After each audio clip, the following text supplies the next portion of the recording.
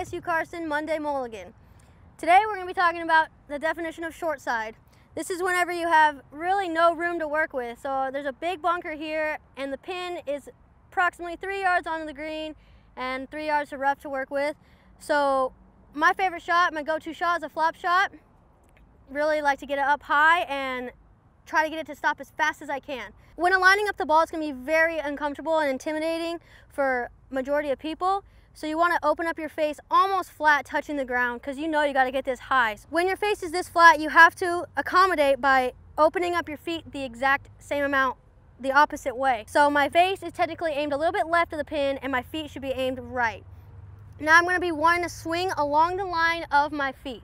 So I'm gonna take it back up high. The face is gonna be wide open, a little bit front of my stance. Face aimed to the left, feet aimed to the right. And what I'm gonna wanna do is take it away, Still a smooth swing, almost like you're barely holding the club because you want it to just, the club to just barely hit the ball.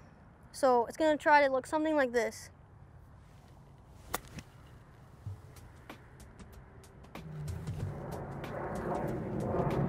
That's exactly the shot I was looking for there. I left myself about four feet, which is a great opportunity for an up and down, and that's the name of the game. This is Kennedie Montoya, and this is your ASU Karsten Monday Mulligan.